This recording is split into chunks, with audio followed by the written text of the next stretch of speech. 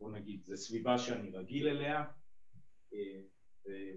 וסטודנטים הם דם והמרץ של הרבה מוסדות אקדמיים ושל הכלכלה בהמשך. אני כמובן היום רואה בזה חשיבות גם לדבר וגם ללמוד ולשמוע מכם. אז בואו בוא בעצם נתחיל. אז היום אני, אני בעצם רוצה להתחיל בתמונת המצב הכלכלי. אני באיזשהו מקום אדבר על צעדי בנק ישראל במשבר. לאחר מכן אני רוצה להקדיש קצת זמן לנושא הראייה הרב-שנתית של החוב הממשלתי, שזה מתקשר לתקציב, ובהמשך לדבר קצת לאן פנינו מועדות בטווח קצת יותר רחוק בראייה איך המשק אמור לצמוח לאחר שנצא מכל הפנדמיה. בואו נתחיל. אז קודם כל, המשק הישראלי, צריך להבין, נכנס לאירוע הזה במצב טוב יחסית, אפילו די טוב. כמו שאתם רואים בצד שמאל למעלה, התוצר היה לו צמיחה סביב השלושה אחוזים לאורך תקופה ארוכה. ובצד שמאל למטה היינו גם עם שוק עבודה הדוק, אבטלה, הקו הכתום בשיעור האבטלה, אתם רואים שהוא פעם מעל שלושה אחוזים בקצה, שיעור אבטלה מאוד נמוך, ומה שחשוב, שני הקווים האחרים משקפים שיעור השתתפות מאוד מאוד גבוה בכלכלה הישראלית. אם אני עובר לצד ימין מטה, אנחנו רואים את מה שנקרא החשבון השוטף. אתם רואים שלאורך תקופה ארוכה אנחנו בעודף בחשבון השוטף, זה מדבר על חוזקה של הכלכלה, על הייצור, משקף חלק מההייטק, חלק מההשקעות פה, וכיוצא בזה. אם אנחנו מסתכלים למעלה בצד ימין, אתם רואים את מה שנקרא יחס החוב של מדינת ישראל לתוצר. זהו משהו שכבר כשנכנסתי בעצם ביום שהושבעתי בבית הנשיא, הגדרתי אותו כנכס אסטרטגי. אתם רואים שבערך מ-2004 אנחנו באופן די רציף, אנחנו יורדים ומורידים את היחס חוב תוצר הזה ובעצם הגענו לכ-60 אחוזים טרום הכניסה למשבר הזה וזה כמובן, היחס חוב תוצר הזה זה פרמטר שהשווקים מסתכלים כל הזמן על יכולת ההחזר של, של המשק, הוא משקף איזושהי יציבות וכמובן זה בא לידי ביטוי ביכולת הריביות שאנחנו, שהמשק יכול לגייס בהן ולכן הדבר הזה הוא מאוד חשוב ואנחנו נחזור אליו בהמשך. אז מה קרה פה בסך הכל? נכנסנו לאירוע הזה, כפי שאמרתי, במצב טוב, היה סגר, סגר כמו שאתם יודעים, סגר ראשון במרץ-אפריל ומה שאתם רואים פה בשקף הזה זה השוואה של הפגיעה בצמיחה, כן, בהשוואה לאותו רבעון מקביל אשתקד. אז אתם רואים שברבעון השני, שכלל את, את, את אותם חודשים קריטיים שהיה בהם סגר, אתם רואים שבאמת הייתה התכווצות דרסטית, אבל יחד עם זה אתם רואים שההתכווצות היא יותר מתונה ממדינות אחרות. קיבלנו לפני יום יומיים את הנתון על הרבעון השלישי, זה בצד שמאל של השקף, ושם אתם רואים את התוצר המקומי ביחס לרבעון השלישי, ואתם רואים, זאת אומרת ביחס לרבעון השני, כמובן בגלל שהייתה צמיחה מאוד, הייתה התכווצות מאוד גדולה, אז כמובן שהייתה ברבעון השלישי צמיחה מאוד גדולה וזה מתבטא בכך שכמעט אין הבדל לעומת הצמיחה ב-2019 ובאופן כללי אחד הדברים שראינו ואחד הדברים שמשקפים את המשק הישראלי זה שברגע שיצאנו מהסגר הראשון, כן, חודשי הקיץ כל הזמן הפתיעו אותנו לטובה מבחינת הפעילות והנתונים של המשק וזה באמת בא לידי ביטוי כפי שאתם רואים בצמיחה יפה ברבעון השלישי כפי שראינו, כפי שמתבטא פה בנתונים.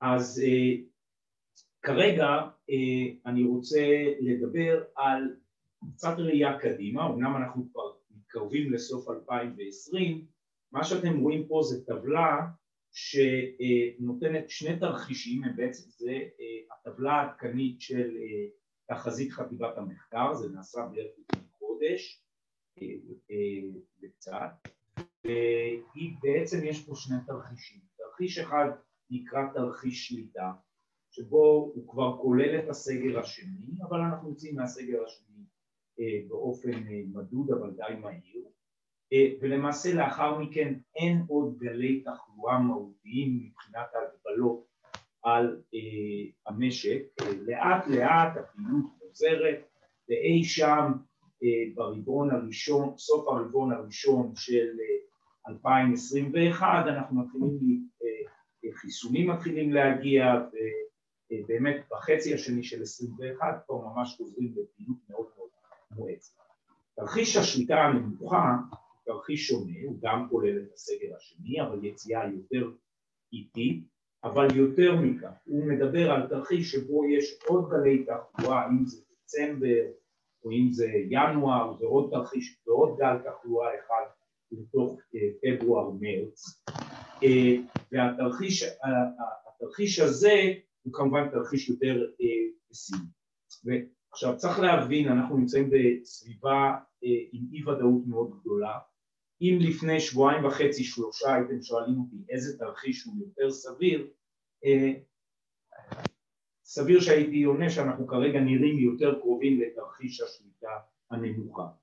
בינתיים אנחנו מצליח, יוצאים לאט לאט מהסגר הנוכחי, נראה שהחיסונים לפחות הגיעו לשלבים מתקדמים יותר, צריך להבין שגם עם ההודעות,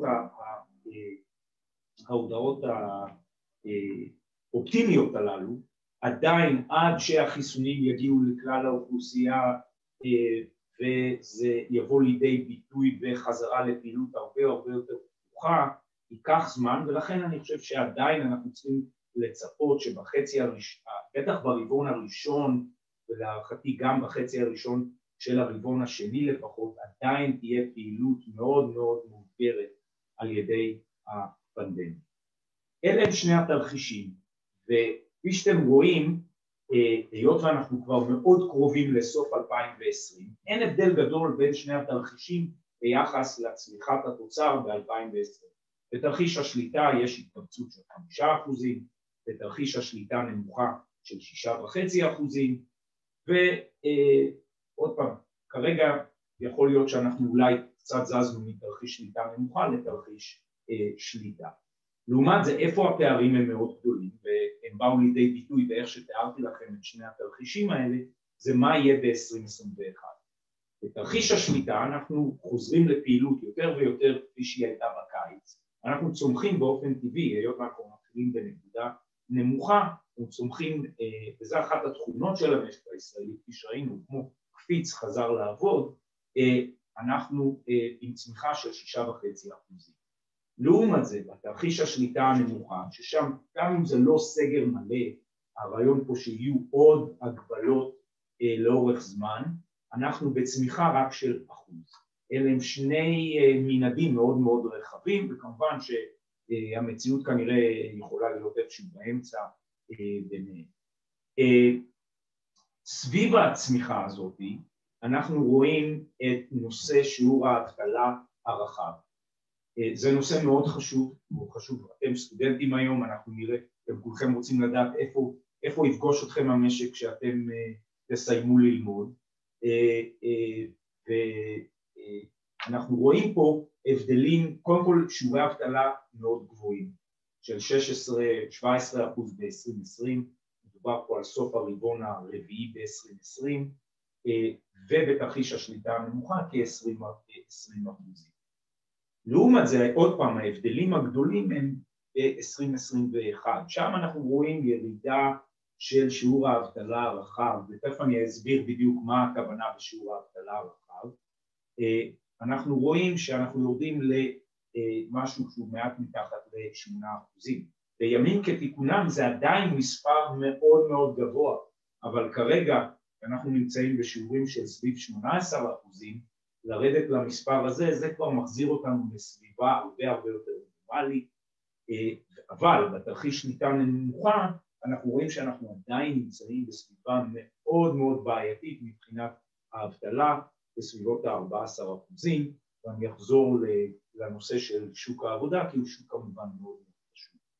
אה, אם אתם רואים מתחת לזה, אנחנו כמובן שלכל הנושא הזה, לצמצום הצמיחה אה, וכל ההוצאות שנעשות בצד הפיסקלי, יש משמעויות בתחום הגירעון, אתם רואים את ההבדלים ב-2020 אין הבדל גדול, זה סביב ה-13 אחוזים, אבל עוד פעם יש הבדל ב-2021 ולמטה יש את הנושא האחרון שעליו אני אדבר בהמשך בהרחבה, הנושא של יחס חוב התוצר, שכרגע נראה שהוא יהיה סביב ה-75 אחוזים, אלא אם כן אנחנו בתרחיש שליטה נמוכה, ב-2021 אנחנו גולשים למעל ה-80 אחוזים.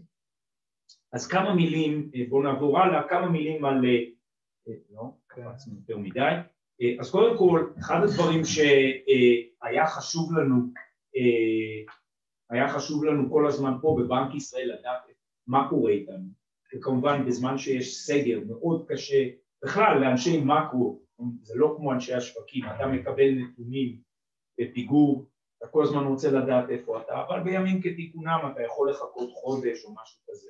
בזמן סגר אתה כל הזמן אתה רוצה מיידיות ואנחנו פה בבנק ישראל בגלל שאנחנו אחראים גם על כל הסליקה ויש שלב אמרנו רגע יש לנו את כרטיסי האשראי אנחנו יכולים לבצע אינדיקטורים מהירים.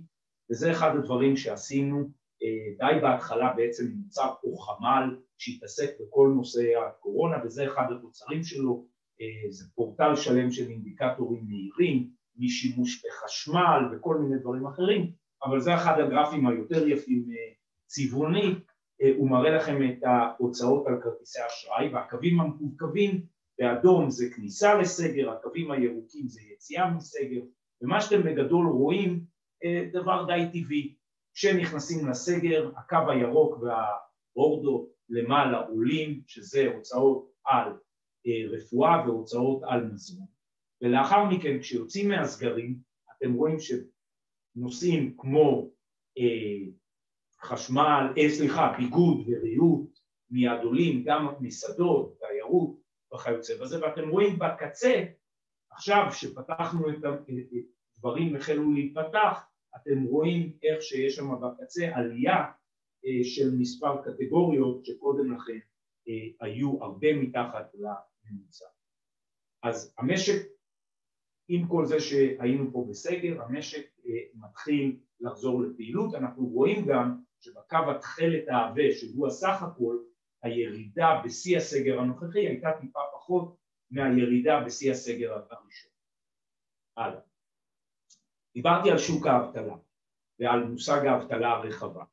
אז אה, קודם כל נגדיר מה זה. הקו הכחול שאתם רואים זה בעצם הבלתי מועסקים, זה ההגדרה הסטנדרטית. מעבר לזה, כמו שאתם יודעים בישראל, אה, מעסיקים הוציאו אה, עובדים לחל"ת. ואנשים שנמצאים בחל"ת זה כרגע התוספת שלהם היא הקו, היא הקו הכחול, הקו הכתום לוקח גם אותם בחשבון. מעבר לזה הלשכה המרכזית לסטטיסטיקה גם שואלת מי בעצם כבר לא, לא מחפש עבודה בעקבות הקורונה, כן? וזה האנשים הללו זה השורה השלישית בטבלה ובגרף זה בעצם הקו האפור וזה מושג האבטלה הרחב וכפי שאתם רואים, כשנכנסנו לסגר הראשון בצד שמאל של, ה, אה, של הגרף האפור, אה, מיד אה, שיעור האבטלה הרחב עלה בצורה מאוד גדולה. כשיצאנו מהסגר התייצבנו סביב ה-12-11 אחוז, ויש פה חדשות טובות וחדשות פחות טובות, במובן הזה שבאמת האבטלה, שיעור האבטלה הרחב ירד, התייצב סביב, אבל הוא התייצב סביב סביבה די גבוהה, כן?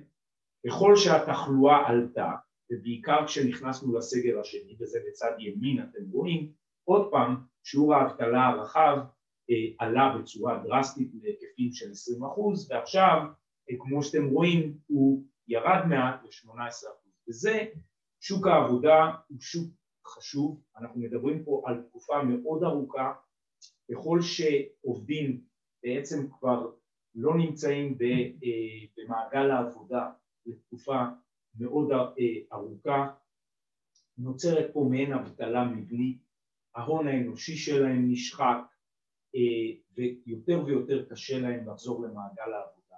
גם חשוב להבין שכל האירוע הזה הוא לא עובד באופן שווה על כולם. דווקא בגילאים שלכם סטודנטים בתחום המסעדות, מלצרות, כל מיני, כל מיני ג'ובים שיותר זמניים, חלקם באמת כרגע בגלל הסגר לא, באופן טבעי אלה מקומות שנפגעו. אבל גם יש לא מעט אנשים בגילאים 45 ו-50 שבעצם הוצאו למעגל העבודה. היום בימים כתיקונם אנשים כאלה יש להם בערך אופק של עבודה של עוד 20-15 שנה ואם לא נצליח לתת להם הכשרות כדי לחזור אנחנו פה מאבדים 15 אה, שנות עבודה. אז הנושא של אה, אה, מצד אחד יש לנו פה משק שמראה שיש לו יכולת לחזור לפעילות גבוהה ומצד שני אנחנו צריכים לשים עין מאוד חדה על שוק העבודה כדי להחזיר כמה שיותר אנשים לשוק העבודה ואחד הנושאים שדיברתי עליו גם בקונטקסטים אחרים אנחנו צריכים להש...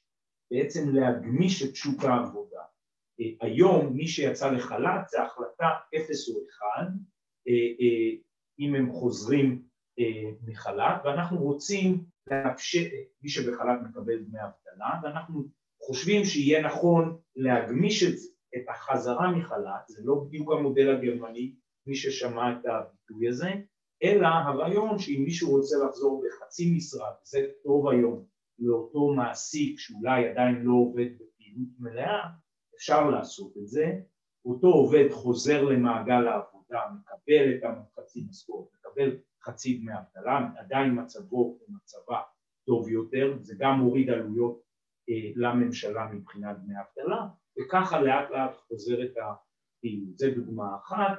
יש עוד נושא שנקרא מודל שימור התעסוקה, וזה לתת תמריצים למעסיקים בכלל לא לשחרר עובדים החוצה.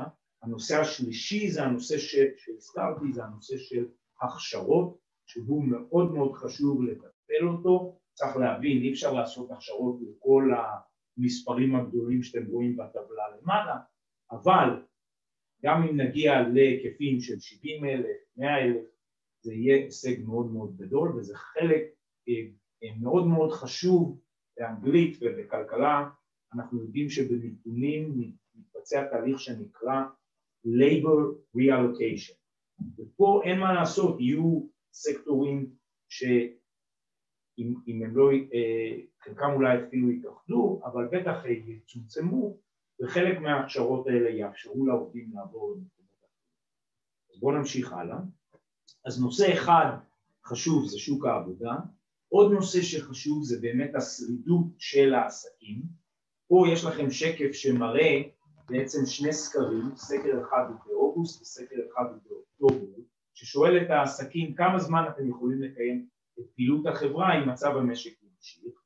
אה, הסקר באוגוסט כמובן הוא היה הרבה יותר אופטימי. ואתם רואים שלדוגמה בעסקים אה, אה, שיש בהם מעל 250 מועסקים אתם רואים שבאוגוסט 78, כמעט 80 אחוזים אמרו מעל חצי שנה. ולעומת זה באוקטובר זה ירד לכ-54 אחוזים. באופן כללי אתם רואים שכולם זזו לשרידות יותר נמוכה וכמובן אה, זה יהיה מאוד מעניין לדעת מה קורה בסוף נובמבר כאשר חלקים יותר נרחבים של המשק אה, חזרו, אה, חזרו וחוזרים לפעילות, אבל זה מדגיש את החשיבות של החזרה לפעילות של המשק, בסופו של יום זה הדרך הטובה ביותר לתת לעסקים לשרוד, ופה תמיד יש את נאמר קודם, קודם האיזון הזה בין בריאות וכלכלה, אבל פה אתם רואים לנגד עיניכם את אותם עסקים, איך הם עונים לשאלה כמה זמן הם יכולים להחזיק, וכמובן שככל שהעסקים הם יותר קטנים, אה, שם רמת הפגיעות היא יותר גדולה, ולכן אה, צריך כמובן להתייחס אליה. אז בואו אני אומר כמה דברים אה, מהר ככל האפשר בנושא של בנק ישראל. אז קודם כל, אתם צריכים להבין, בנק ישראל בהרבה מובנים הוא מיוחד. אתם רואים שיש פה בעצם אה, אה, מעין שלושה, אה, שלושה עמודות, שלוש עמודות, ואחת בצד ימין היא ההתעסקות הקלאסית של בנק מרכזי וזה. באמצע יש לכם את עולם הבנקאות, הייתי אומר שבחצי מהבנקים המרכזיים זה נמצא בתוך, בחצי מהמדינות הבנק המרכזי הוא גם הרגולטור של עולם הבנקאות. בצד, בצד שמאל אתם רואים את הייעוץ הכלכלי לממשלה, וזה משהו שאני לא מכיר בטח כמעט בשום מקום אחר, זה שהנגיד הוא גם יועץ כלכלי לממשלה. אז בואו אני אתחיל דווקא בצד ימין. אני רוצה להגיד מה קרה פה, כפי שאמרתי לכם, אנחנו כבר בסוף פברואר סך הכל ידענו שהולך פה ומתהווה אירוע שלא ידענו ונערכנו בצורות כאלה ואחרות. אבל האירועים בשווקים החלו לקראת סוף השבוע הראשון של מרץ והחצי הראשון של מרץ ובעצם היו פה תנועת מרקחיים, אנשים פדו קרנות, פדו בקרנות נאמנות שלהם. כמעט 42 מיליארד. ומה הקרנות עשו? מיד מכרו את הדבר הכי נזיל וזה אג"ח ממשלתי. מצד שני הגופים המוסדיים השקיעו בהרבה מגזרים בחו"ל, הם הפסידו שם והם היו צריכים לכסות את ההפסדים והם היו זקוקים לדולרים באופן מיידי. בדרך כלל המוסדיים יהיו בצד השני ויקנו את האג"ח מהקרנות, אבל פה גם הם מכרו את האג"ח ופה הייתה תנועת מרקחיים שהובילה לכך שהריביות עלו באופן מיידי, כן, ושער החליפין זינק והיה בעצם אה, מחנק אה, בשוק הדולרי, דרך אגב זה קרה בכל העולם. אז מה שאנחנו עשינו, הדבר הראשון שבאמת כמו שכתוב פה יציבות פיננסית, אתם צריכים להבין, האירוע הזה הוא קודם כל אירוע בריאותי, שהפך לאירוע כלכלי, שיכל להפוך לאירוע פיננסי, והדבר הראשון שעשינו זה בעצם חסמנו את זה מזה שזה יהפוך לאירוע פיננסי אה, ו...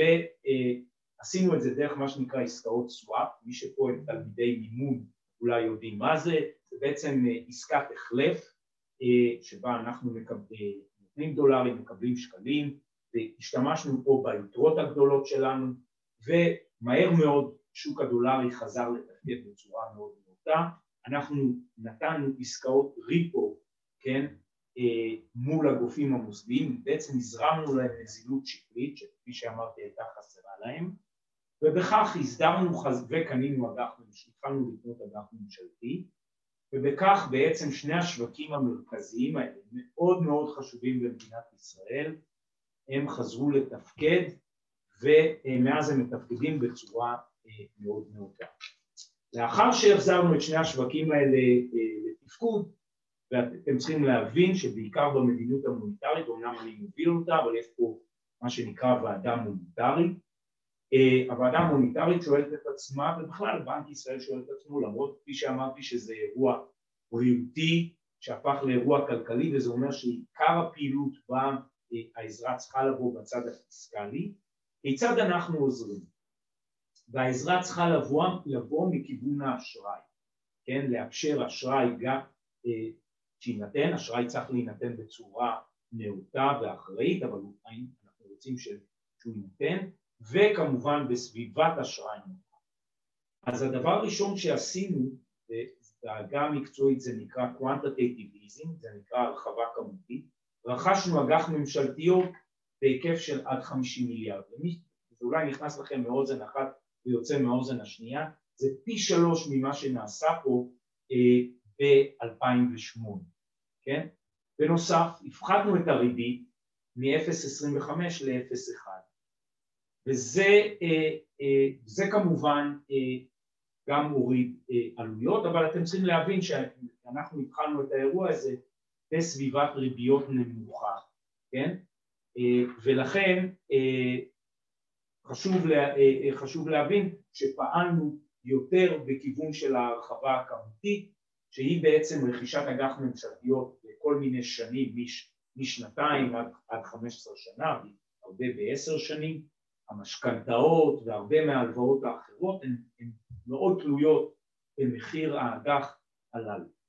בנוסף, באותה נקודת זמן ראינו שמערכת ההלוואות, ועוד פעם הראיתי לכם את העסקים הקטנים שהם הפגיעים ביותר, בנק ישראל עשה פה עוד צעד, עוד צעד תקדימי ונתנו הלוואות לבנקים לשלוש שנים בריבית 0.1 כנגד זה שהם יוכיחו לנו שהם נותנים הלוואות ואשראי לעסקים קטנים וזעירים.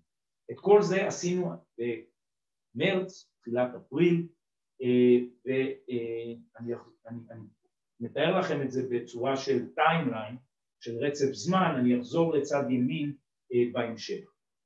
אני אעבור במהירות לאמצע, אחד הדברים שלמדתי באירוע הזה זה החשיבות דווקא של הפיקוח על הבנקים אה, שנמצא בבנק ישראל יחד עם המדיניות המוניטרית.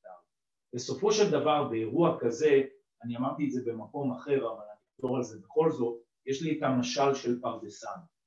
אתה כמו פרדסן, אתה רוצה שיהיה נזילות ושהיא תגיע לכל הפרדס ככל האפשר, אבל מה לעשות, השיבר כבר די פתוח, כן, בקונטקסט שהריבית כבר מאוד מאוד נמוכה. ולכן אתה צריך לעשות צעדים אה, מה שנקרא Unconventional Monetary Policy. ומה שהראיתי לכם בצד ימין זה, זה צעדים תקדימיים שמעולם לא נעשו פה, בטח לא בהיקפים הללו, חלקם מעולם לא נעשו פה. בו זמנית, במרץ, אנחנו הורדנו את דרישות ההון, הבנקים צריכים לעמוד עם דרישות הון מסוימות, הורדנו להם את דרישות ההון, עצרנו את הדיבידנדים, וזה מיד אפשר לכל מי שהיו למסגרות אשראי וגם לבנקים להגדיל את היקפי האשראי. רק לדוגמה, במרץ עסקים גדולים מיד יישמו 21 מיליארד, שימוש של 21 מיליארד באשראי זה היקף אדיר. בנוסף, כמו שאתם אה, בוודאי קוראים, אה, אה, נעשו פה דחיות תשלומים. איך הם בוצעו? אנחנו בעצם אימצנו הקלות רגולטוריות וחשבונאיות שמאפשרות לבנקים לא לסווג לווים שצריכים דחייה כלווים בעייתיים, כן? ולאור זה הם, זה אפשר לבצע הרבה מאוד דחיות תשלומים, בהתחלה כל בנק עשה את זה בפני עצמו, לאחר מכן עשינו מעין מסגרת פחות או יותר אה, אה, אחידה, אה, ועד היום הוצאו מאות אלפי תשלומי משכנתה והלוואות אחרות, מעל עשרה מיליארד ש"ח, זה בעצם אשראי ללא ערבות מדינה בהיקפים מאוד גדולים, והסינרגיה הזאת שאני מדבר עליה לבצע אשראי מצד אחד לאפשר למערכת הבנקאית יחד עם המדיניות המוניטרית היא מאוד מאוד חשובה. אה, אנחנו עשינו עוד כל מיני, אה, אה, היות והיה סגר, כל מיני הנחיות לשירותי בנקאות מרחוק וכיוצא בזה, אני לא, לא, לא אכנס לזה.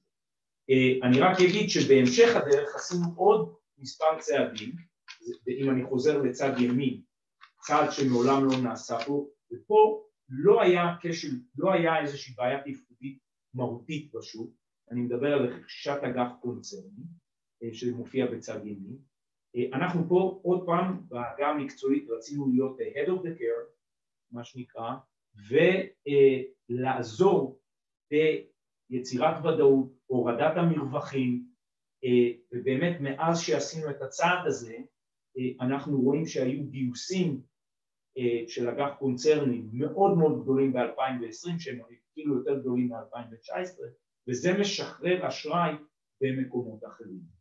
אני, מה שאתם רואים בבול זה מה שנעשה פה בהחלטת ריבית האחרונה, אנחנו הרחבנו את, את תוכנית האג"ח הממשלתי בעוד 35 מיליארד, עד לאותה נקודה אנחנו השתמשנו ב-35 מיליארד, אז עוד 35 מיליארד בעצם שמו אותנו עם עוד 50 מיליארד, ויש פה איזושהי לוגיקה מסוימת אנחנו רצינו להגיד, רבותיי, יש הרבה אי ודאות במשק, בהמון מובנים, אנחנו רוצים לוודא שאתם יודעים, בנק ישראל פה, יש פה סביבת אה, אשראי נוחה, לפחות עד החצי השני של 2021, אה, ששם אנחנו באמת אה, רואים שהמשק אמור לחזור לפעילות מאוד מאוד גבוהה. עשינו עוד צעד שחידד את המתן הלוואות לעסקים קטנים, וזה נתנו אה, להם הלוואה בריבית שלילית, אבל פה מותנה שהם לא ייתנו את זה בריבית אה, גבוהה מדי והיא עד פריים של 1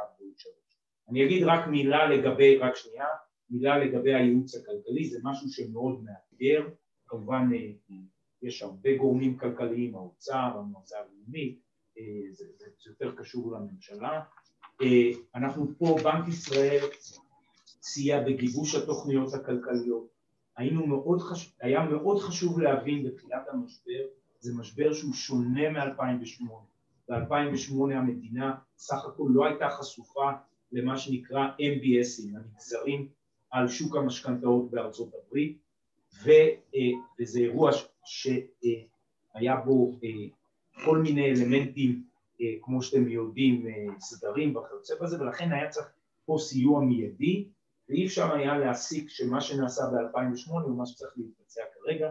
אז קודם כל באנו עם התובנות האלה, באנו עם אומדנים לאותם דיונים של אה, בריאות מול כלכלה והייתי אומר כמו שמעולם אני חושב בנק ישראל לא היה מעורב אפילו ברמת השורה של תוכניות כלכליות לטיפול אה, במשבר. ואנחנו כמובן ממשיכים כל הזמן להיות מעורבים אה, בסיוע אה, לגורמים בנושאים הללו. אז אני אעבור אה, הלאה.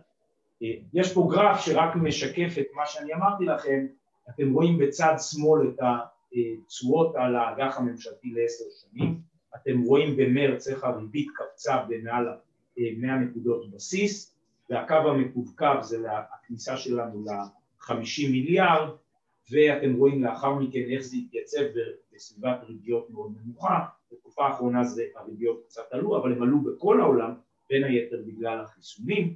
בצד ימין אתם רואים את האג"ח על, אה, אה, בשוק הקונצרני, זה מדדי טלבון, ואתם אה, בעצם אה, רואים איך לאחר ההודעה על שוק ההתערבות שלנו, או על ההרחבה הכמותית של החמישים מיליארד, כבר הייתה התכנסות של התשואות בצד ימין למעלה ולמטה, ולאחר מכן, לאחר ההכרזה על האגף הקונצרני, הייתה עוד התמתנות.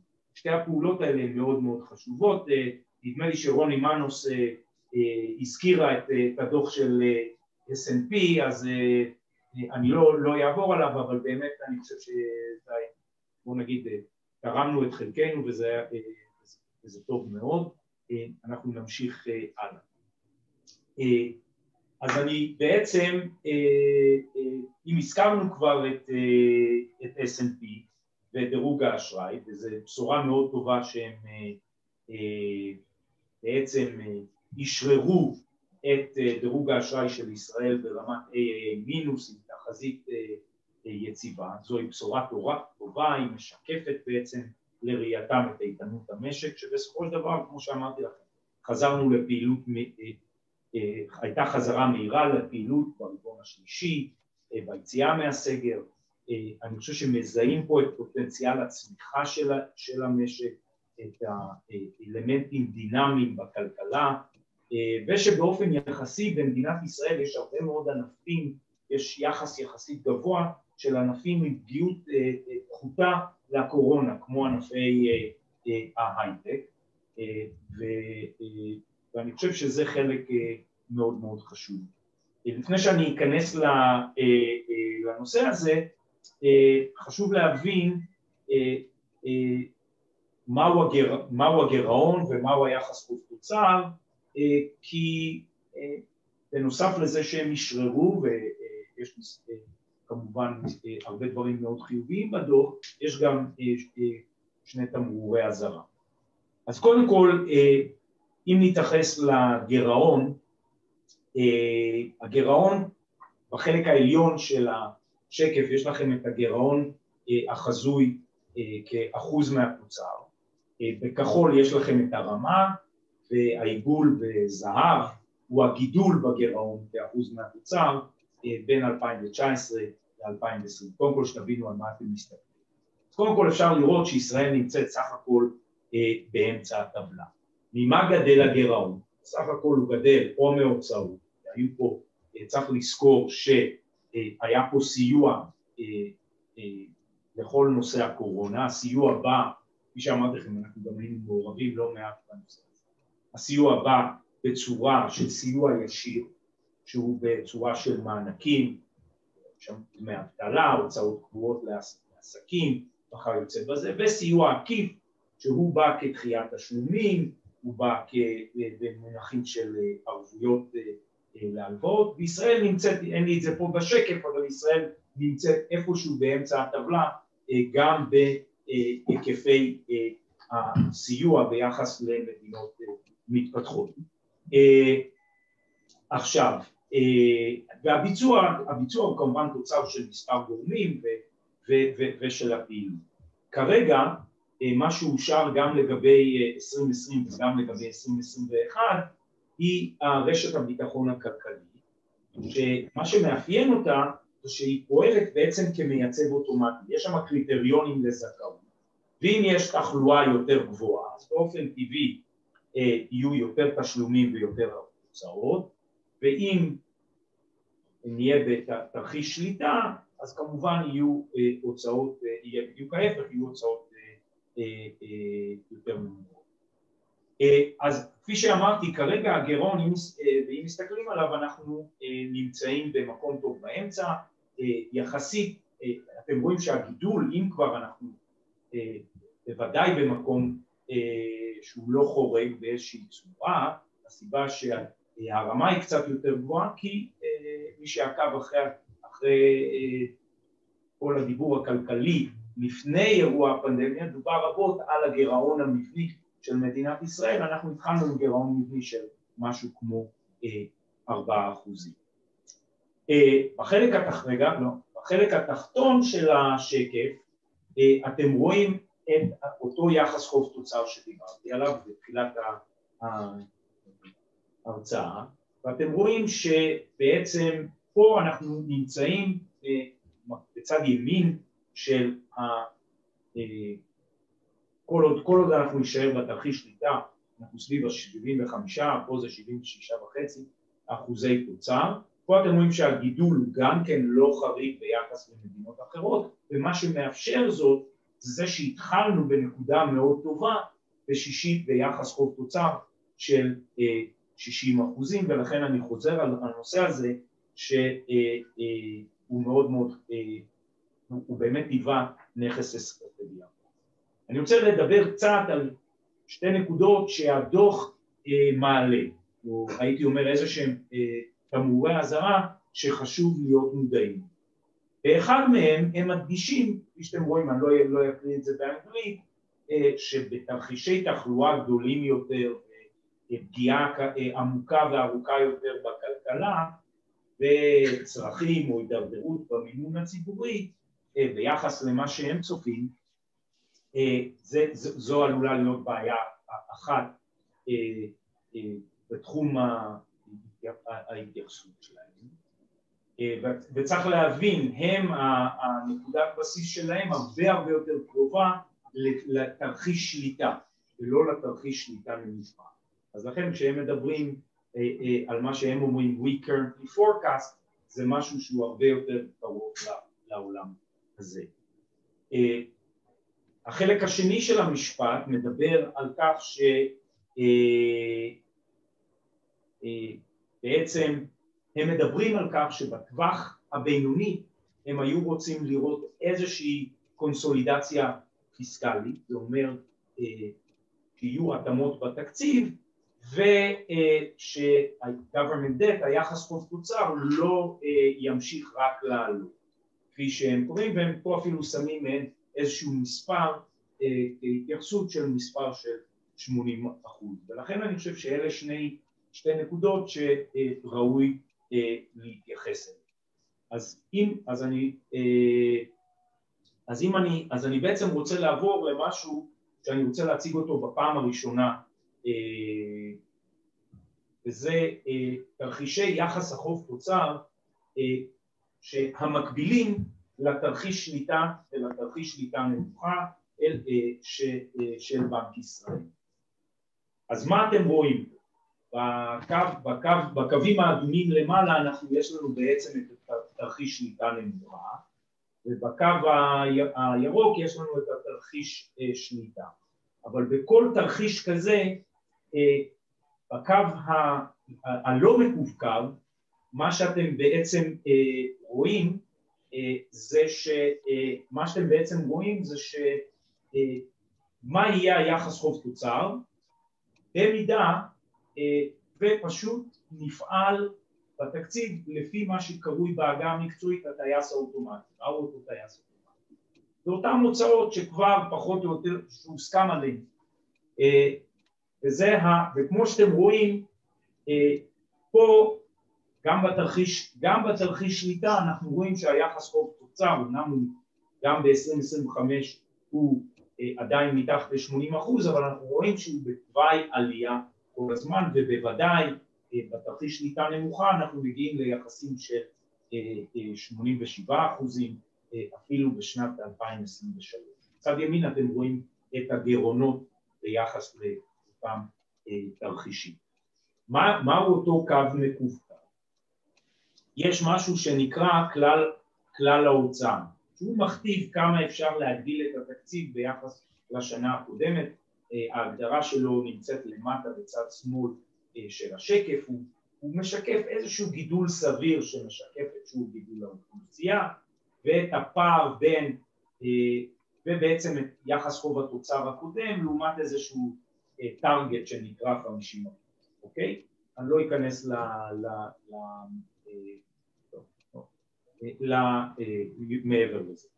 אה, אז מה אנחנו רואים? אנחנו רואים שבכל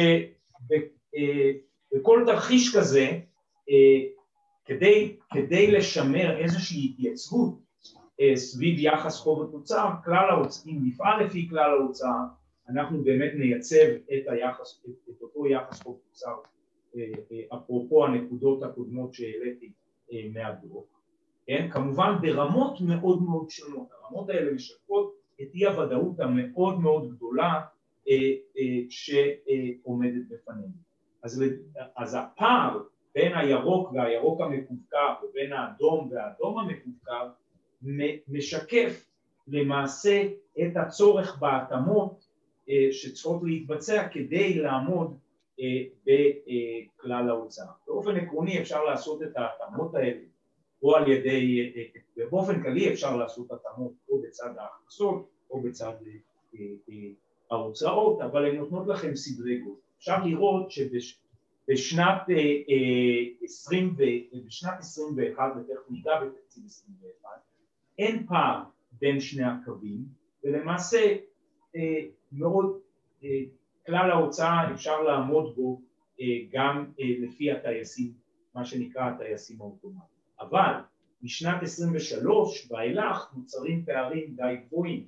לדוגמה, בתרחיש השליטה הנמוכה אנחנו מדברים על כ-20 מיליארד ובתרחיש, השליט, ובתרחיש השליטה כתשעה מיליארד. אז גם הפערים וההתאמות האלה הם די אה, גדולים. צריך להבין שאותן התאמות שאני מדבר עליהן עדיין לא כוללים בתוכם עוד כל מיני הוצאות שכל מיני גופים ירצו עוד התאמות שעליהן אני אדבר בהמשך שקשורות בהשקעות בתוך הפריון שלנו אה, ומאיצי אה, צמיחה. לכן ההתאמות האלה הן אה, די משמעותיות וסביר שהאתגרים עוד יהיו מעבר לכך יותר גדולים במידה ויהיה ונרצה וכנראה שנרצה להכניס עוד השקעות לטובת הפריון במשך השנים. אה, אז המסר הוא די ברור, יש הבדלים מאוד מאוד מהותיים אה, בין אה, שני התרחישים ובשניהם גם רמת ההתאמות שנדרשת היא מאוד מאוד גדולה. אז בקונטקסט הזה אני רוצה מספר, אני רוצה לחדד, כפי שאמרתי ב-2021 אין פה פערים מאוד גדולים אם אתה בתרחיש שליטה או בתרחיש שליטה נמוכה בין, אה, אה, בין הקו, בין הטייס האוטומטי או לכלל ההוצאה. אז קודם כל אם אנחנו מדברים על תקציב 2021 ברור שתקציב כזה צריך, צריך אותו וצריך לבצע אותו כמה שיותר מהר, הוא יוצר ודאות למשרדי הממשלה, הוא יוצר ודאות למי שעובד מול משרדי הממשלה, אה, הוא כמובן ככל שהוא יהיה יותר מוקדם, אותם מאיצי צמיחה שכמובן אנחנו היינו רוצים לראות, אני אדבר עליהם קצת, אה, אה, בתוך התקציב יוכלו להיות מופעלים מהר יותר ולכן ככל שנצליח גם לצאת מהפנדמיה הם יתחילו להיות מופעלים יותר מהר. וכמובן שלא היינו רוצים למצוא את עצמנו באיזושהי צורה בתקציב המשכי ב-2021 כי זה תקציב שלא משקף את התעדופים והוא גם תקציב מרסן בתקופה שאנחנו לא רוצים אה, תקציב מרסן אה, אה, בשנה כמו שנת 21. אז מה, איך צריך לחשוב קצת, איך, איך, איך, איך צריך לחשוב לארגן את המחשבות שלנו לעשיית התקציב בהינתן מה שאתם רואים מצד אחד אנחנו רואים שאם אנחנו רוצים לייצב את היחס חוב תוצר יש, יש פה איזה שהן התאמות לפנינו ומאידך אנחנו כמובן לא רוצים לרסן את התקציב מוקדם מדי וגם מה שחשוב להבין אנחנו כרגע במצב של אי ודאות מאוד מאוד גדולה. איפה אנחנו בדיוק נהיה לאחר החצי השני של שנת 21 ולכן ההמלצה שלנו כרגע היא לבצע את תקציב 2021, לא משנה מתי הוא יובא, לבצע אותו ברמה כמעט פילוסופית הייתי אומר, ככה שהתקציב הרגיל יבוצע לפי כלל ההוצאה, ואתם רואים אין פה התאמות אה, גדולות, לכך יתווסף קופסת הקורונה שאמרתי שמייצגת מייצב אוטומטי, וזה יהיה תקציב 2021 וזה מה שאתם רואים שנלקח פה בחשבון. את ההתאמות שיהיה צורך לבצע, אנחנו חושבים שנכון יהיה לבצע לאחר שחלק מאי הוודאות הזאת תרד ובאופן טבעי תקציב 22 יתבצע בקיץ 21 ואז את אותם התאמות, כן, שאתם רואים, את, אה, שאמרתי, חלקם יהיו מאתגרות, בעיקר אם נרצה להוסיף עוד נושאים שקשורים לדוח הפריון וכיוצא בזה, כפי שראיתם גם מימדי האבטלה הם מאוד מאוד שונים, אה, אז אנחנו ממליצים לבצע, כרגע לבצע את מה שאמרתי לגבי שנת 21 ולהשאיר את ההתאמות הללו שיבוצע תקציב 22 אה, אי שם בחצי או בקיץ של 2021. אז אלה הם התובנות שלנו אה, לגבי המנעד החשוב הזה שמצד אחד משדר, ממשיך לשדר אחריות תקציבית, מנסה להכניס מאיצי צמיחה וכמובן מודע לזה שבהמשך אנחנו גם חייבים להתמודד עם הייצוג של היחס חוב תוצר בהמשך, אבל נותן לנו גם את דרגות החופש להבין איפה בדיוק נהיה ומתי שנצא מהאירוע הזה של הקורונה. עכשיו אני רוצה לומר משהו שברור לנו ששנים שלאחר משבר הם, אפשר לעבור לשקף הבא, הם, הם, הם שנים שבהם באמת אפשר לעשות אה, אה, שינויים אה, מאוד חשובים וזה גם חלק מהרפורמות כמובן מתלוות גם לתקציב והן חשובות. אבל מה שאתם רואים פה בצד ימין אנחנו בבנק ישראל בעצם אספנו, דיברתי על מאיצי צמיחה שיש להם אפקטיביות מיידית, הם שמישים באופן מיידי בשנת 2021 ויש פה רשימה בצד ימין ומאוד חשוב יהיה לנסות להכניס ככל האפשר אותם כמובן למסגרות של 2021 ומצד שני צריך להבין דברים לטווח יותר ארוך כרוכים בתכנון כולכם שומעים את המטרו, המטרו גם אם תביאו לי מחר את כל התקציב שבעולם אי אפשר בדיוק, לה, אה, אה, הוא לא בדיוק יכול להיות מטופל. אני תכף אכנס ל, אה, אה, למספר האתגרים לשנים הבאות. המשק הישראלי אה, למרות הצמיחה הטובה שהראיתי לכם היה מאופיין בפריון לא גבוה במיוחד. חלק מיכולת הצמיחה שהראיתי לכם בשקף הראשון באה לידי ביטוי בגידול בשיעור ההשתתפות, אבל הפריון, מה לעשות, לא היה גדול במיוחד. יש לך חטיבת המחקר בעצם לפני הכניסה לאירוע של הקורונה עשתה מחקר מקיף כיצד אנחנו יכולים, מהם הגורמים וכיצד אנחנו יכולים להגדיל את הפריון כי פחות או יותר למעט שתי אוכלוסיות, נשים, נשים ערביות או גברים חרדים, אנחנו בשיעור השתתפות כבר מאוד מאוד גבוה ולכן יש פה בעצם שלוש קופסאות. אתם רואים כמובן, כולכם מכירים את עולם התחבורה בישראל, כן? ואנחנו רואים את החשיבות של הדיגיטציה שכרגע קורית לנגד עינינו, אנחנו רואים את הזום, פגישות זום, עולם העבודה, עולם העסקים, ברור שנחזור ליותר פגישות, אבל הוא יהיה שונה, כן? אה, וכמובן אנחנו חייבים להעדיף את היקף ההשקעה בתשתיות אה, אה, ובתקשורת, אם זה ביתיות, אם זה משרדיות וכיוצא בזה, וככל שנעשה את זה, זה יהיה מכפיל כוח בהמשך בהשקעה ובהון פיזי, שגם חסר במדינת ישראל, אתם רואים, זה עוד נושא שצריך לקדם. הנושא של תחבורה ציבורית, הזכרתי את המטרו, יש פה המון נדבכים, זה לא רק המטרו, זה נתיבים, זה, זה, זה, זה כל, הנושא, כל הנושא של לנהל את, ה, את, התחבור, את התחבורה הציבורית ואת הלחץ על הכבישים על ידי אגרות גודש, כל הנושאים הללו הם נושאים שצריך לקדם אותם.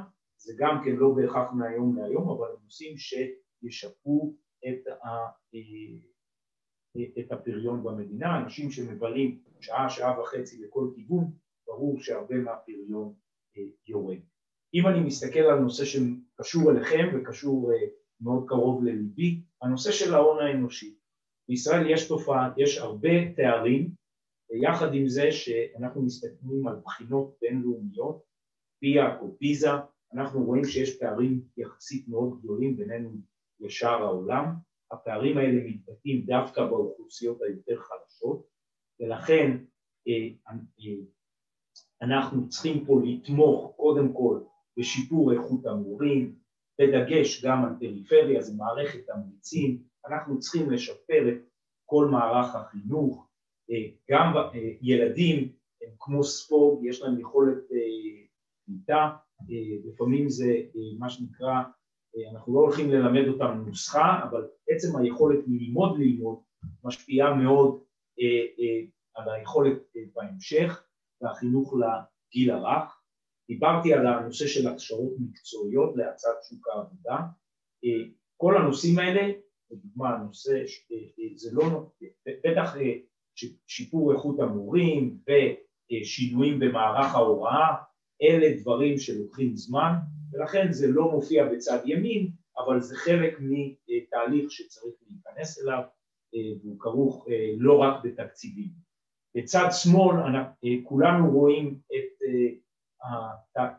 את נושא הדיגיטציה שעבר על כולנו, גם המערכת הציבורית בבנק ישראל, הרבה מאוד מהעובדים בעצם עובדים מהבית ויש לנו היום יכולת לנצל את המשבר הזה ולמנף אותו לשיפור הבירוקרטיה והרגולציה.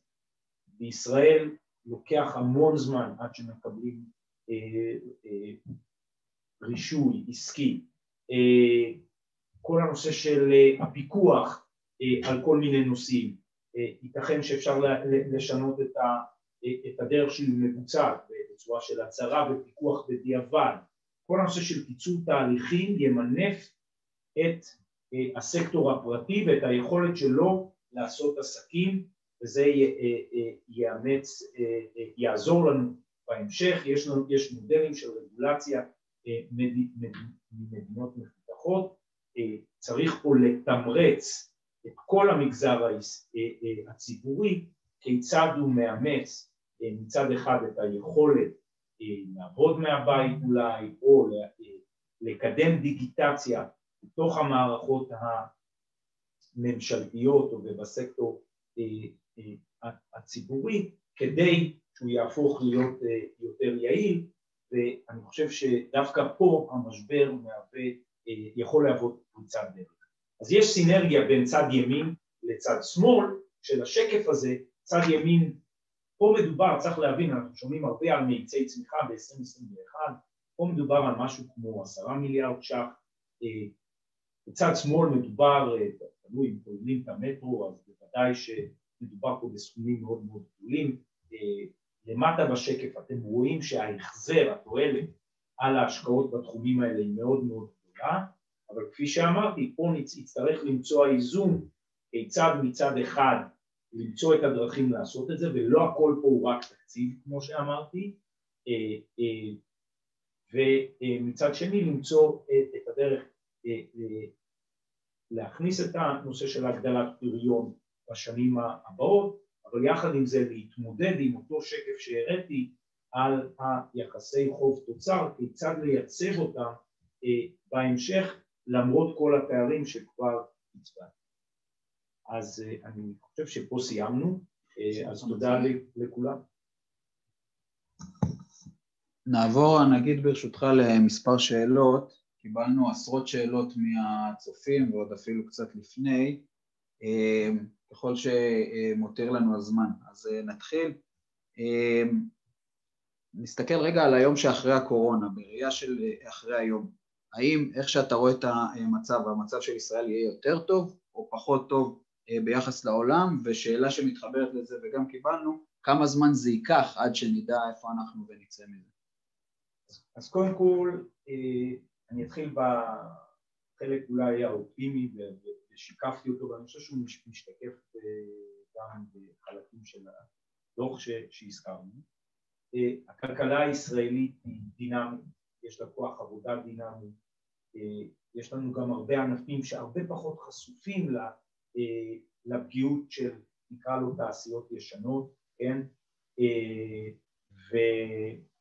ואנחנו רואים את זה, ראינו את זה ברבעון השלישי, ראינו גם שהביקוש למוצרים דיגיטליים, לשינויים טכנולוגיים, לחלק מה, מההייטק היה אפילו עלייה בביקוש. ולכן, אה, אם אני מסתכל, אנחנו גם מדינה ש... במידת משברים, יש לנו, יש לנו עמידות, אנחנו גם גם יש את האלמנטים שהם built in אה, אה, בצד הכלכלי אה, ולכן אני חושב שבאופן כללי, באופן יחסי, המשק הישראלי ברגע שנצא מזה יוכל לצאת מזה בצורה יחסית טובה, לפחות זה, זה נראה כרגע. כמובן, ככל שהאירוע הזה מתמשך ויש יותר ויותר סגרים ושוק העבודה, כפי שאמרתי, נהיה עם אה, אה, אבטלה יותר כרונית, ויש שחיקה של ההון האנושי, ויש יותר, יש אה, עלולים להיווצר, נקרא לזה אלמנטים של יותר ויותר גופים שקשה להם לשרוד, אז היציאה היא הרבה הרבה יותר קשה, כן? עכשיו חלק מהאלמנטים האלה קיימים גם במדינות אחרות, אבל פה בדיוק אה, אה, נשאל מתי זה יקרה, אה, אז פה חשוב מאוד להבין שקשה מאוד לדעת איפה נהיה, על איזה תוואי אנחנו נהיה, אבל אנחנו מקווים שנחזור לפעילות הרבה הרבה יותר מואצת, כמו שאמרתי, אי שם לתוך, עמוק לתוך הרבעון השני או במחצית השנייה של 2021, אבל אתם צריכים להבין דבר אחד, שגם בתרחיש שליטה וגם בתרחיש שליטה נמוכה אה, אנחנו נמצאים הרחק מאיפה שהיינו אמורים להיות אילולי כל האירוע הזה. ובעגה המקצועית זה נקרא פער התוצר. מה זה אומר? זה אומר שבתרחיש שליטה שהראיתי לכם, למרות שיש צמיחה של שישה וחצי אחוזים, צמיחה מאוד יפה ב-2021, אנחנו בסוף השנה עדיין נהיה באיזשהו פער של חמישה אחוזים לעומת מצב שהיינו מה שנקרא בסטדי סטייט גדלים סביב השלושה אחוזים.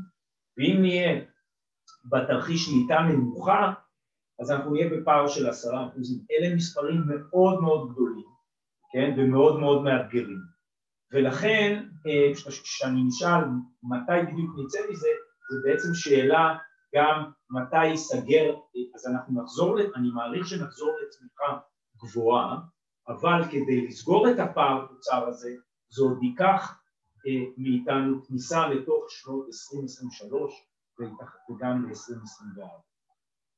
תודה, כן, זה היה גם חיבור של אה, עוד שאלות נוספות של תוך כדי.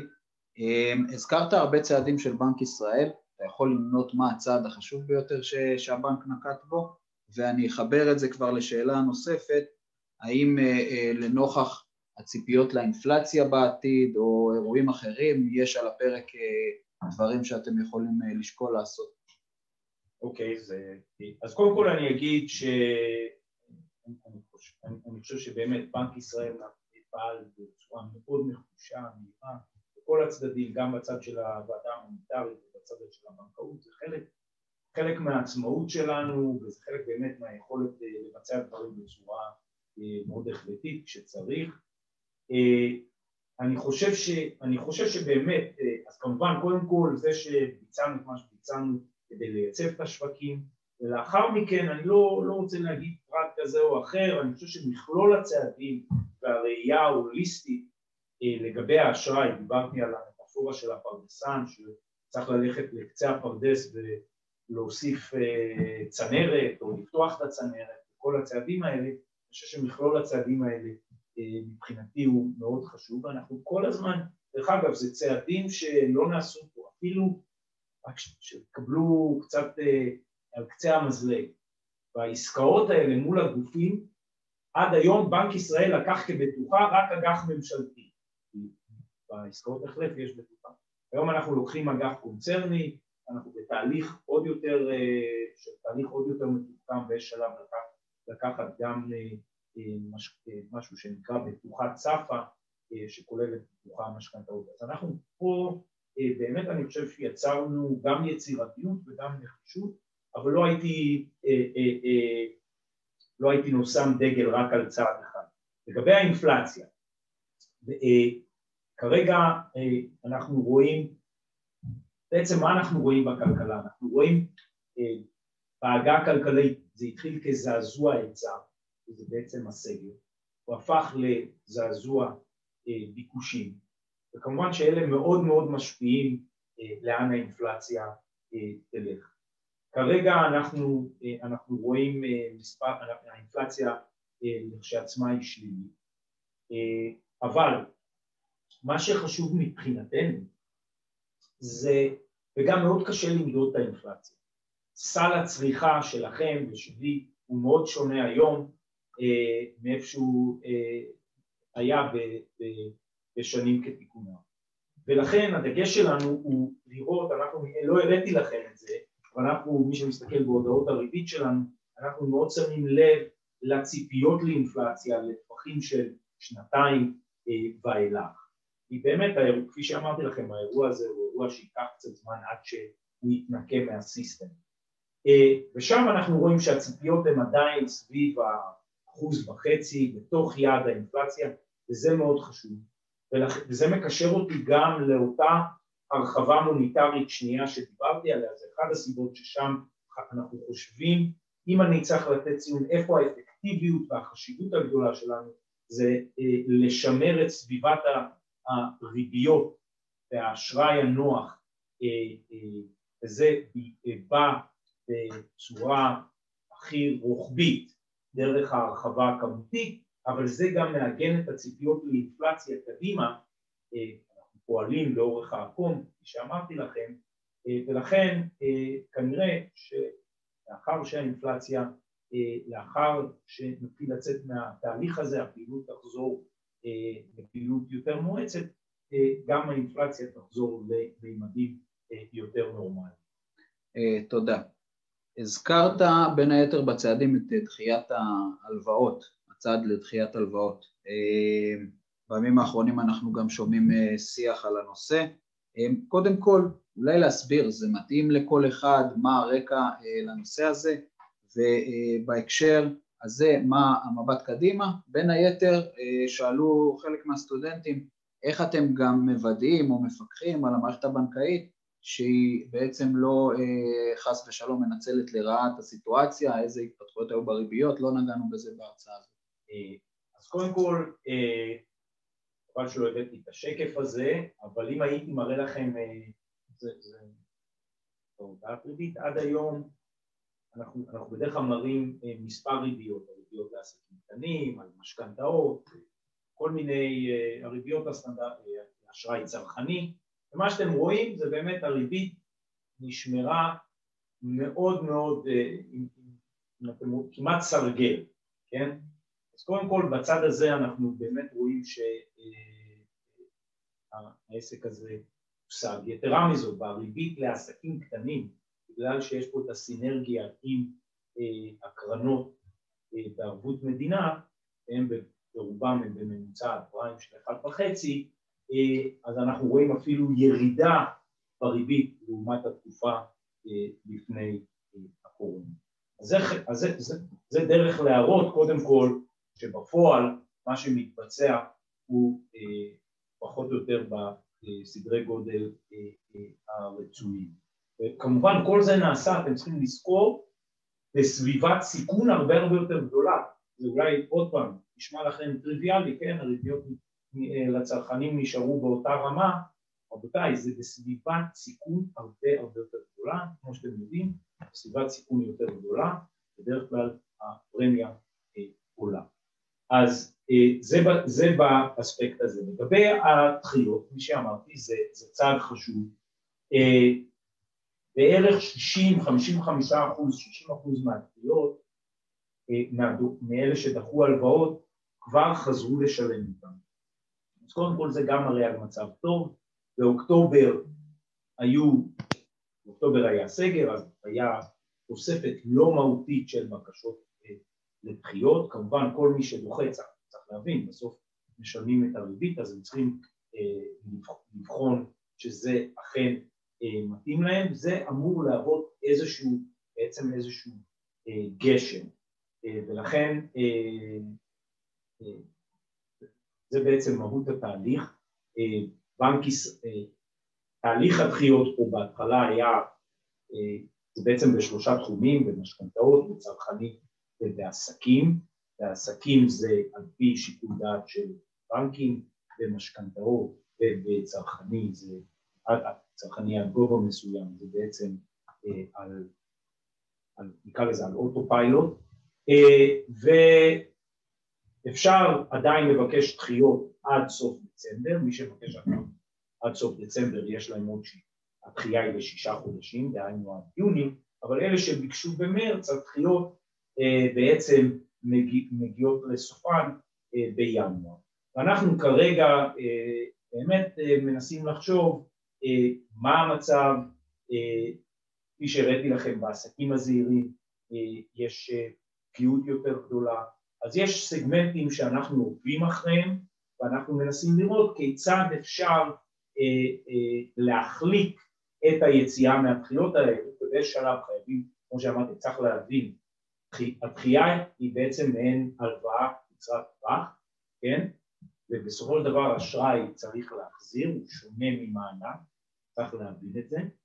אה, אה, ואנחנו אה, עובדים כרגע על מספר רעיונות וקודם כל בוחנים את הנתונים, כפי שאמרתי, 60 אחוז, 55 או 60 אחוז חזרו לשלם ואנחנו כל הזמן מנטרים מה המצב בתחום הזה וגם מנסים לחשוב על רעיונות שמצד אחד יחזירו אפשר יהיה לשל... אה, לחזור לשלם, אבל אולי בצורה אה, שאם המצב של הלקוח עדיין אה, יש שם קושי, אפשר יהיה לבצע איזה שהם הקלות.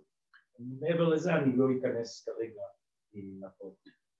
שאלה שעולה בהקשר של תפקידי הבנק זה זה שאתה לא אמון רק על שמירה על יציבות המחירים וכולי, אלא גם לשמש יועץ כלכלי לממשלה. ואם תוכל להרחיב לספר כמה באמת קשה למלא תפקיד כזה, למשל בהינתן הממשלה הקיימת או בכלל בתוך הקונספט הזה של בנק מרכזי.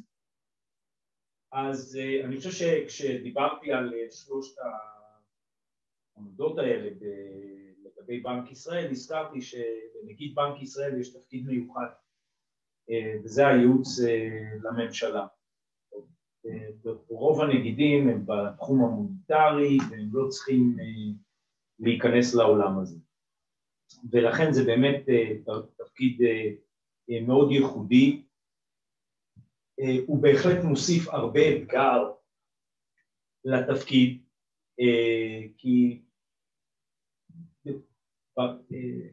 קודם כל מנעד הנושאים שאתה צריך לדעת עליהם הוא הרבה הרבה יותר רחב, כן?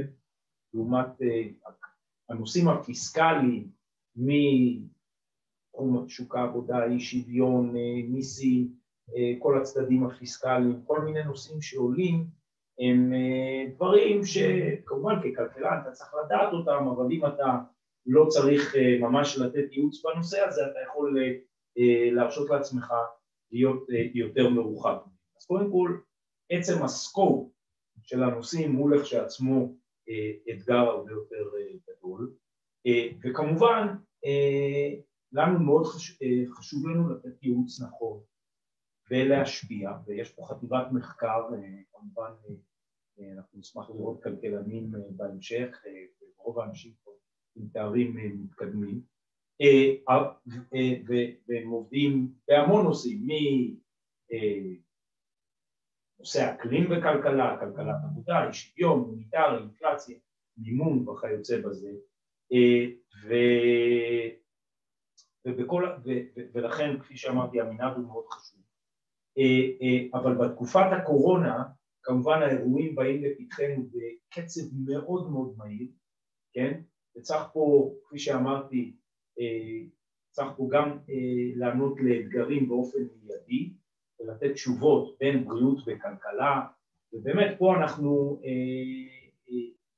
וגם תשובות איך, לדוגמה, הזכרתי את נושא החזרה הגמישה מחל"ת, הזכרנו, דיברנו קצת על רשת הביטחון, דיברנו קצת על מודל שימור תעסוקה, כל מיני, כל, דיברנו על המאיצי צמיחה.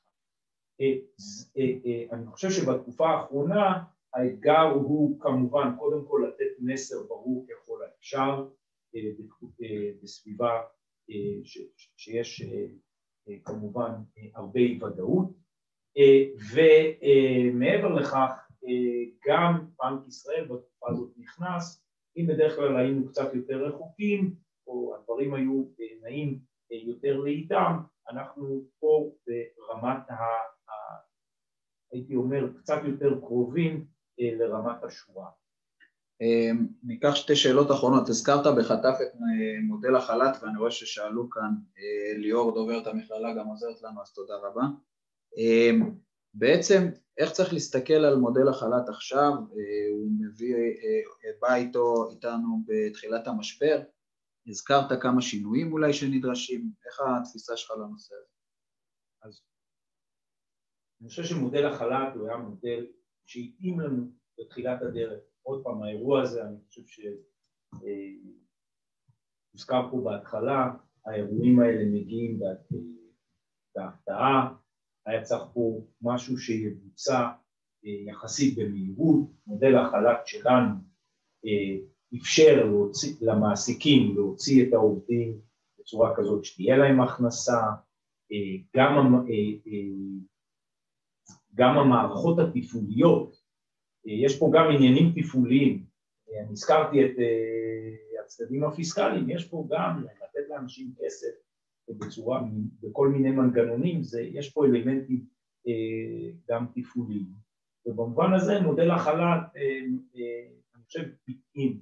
בגרמניה יש מערכות מידע ומערכות פיקוח, כל הסיוע הזה שעובר מהממשלה למעסיק וממשיך להעסיק את העובד, זה עם מערכות פיקוח שאין אה, בישראל.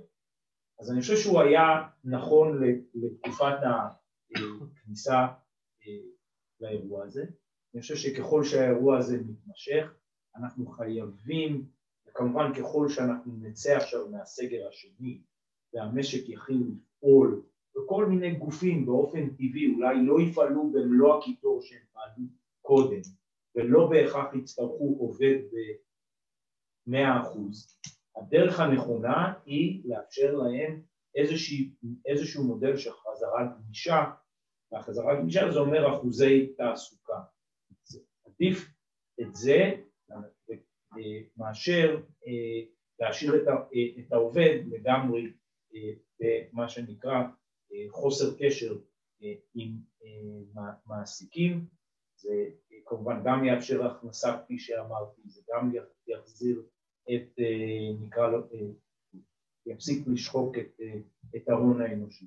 בד בבד, יהיו סקטורים שלא מיד יחזרו, גם אם אנחנו כרגע נפתח עוד מספר חלקים אה, אה, מהסגר, ושם צריך לאפשר כמה שיותר הכשרות מקצועיות, צריך אה, לראות אה, לאן, אה, איך אפשר, והכשרות מקצועיות יכולות להתחלק לשניים, יש הכשרות שהן באופן כלליות, אנגלית, כישורים דיגיטליים, ויש הכשרות שהן מאוד מאוד ספציפיות, אני חושב שזה תלוי מאוד בצרכים ובפרסונה שמגיעה לאותה, לאותה הכשרה. אבל אלה הם בגדול הכיוונים שאנחנו צריכים כדי לתמרץ את שוק, את שוק העבודה. שאלה לסיום, מה בכוונתך לעשות לאחר שתסיים את תפקידך כנגיד בנק ישראל, אם יש תוכניות? שאלה מצוינת, אני כרגע כל כולי נתון 150 אחוז לתוך האירוע הזה, לטובת הכלכלה, אין לי אפילו, גם אם הייתי רוצה, אין לי זמן אפילו לחשוב מעבר לזה. אני, אם אני מצליח להגיע לריצה שלי, אני מרוצה, בהמשך הדרך לחשוב מה צריך, מה צריך לעשות. כרגע אני ובנק ישראל כמובן פה לסייע כמיטב יכולתנו לכלכלה בכל המימדים שדיברנו. טוב, תודה. אנחנו סיימנו כאן. אם יש מישהו מהמכללה שעוד רוצה להזכיר משהו.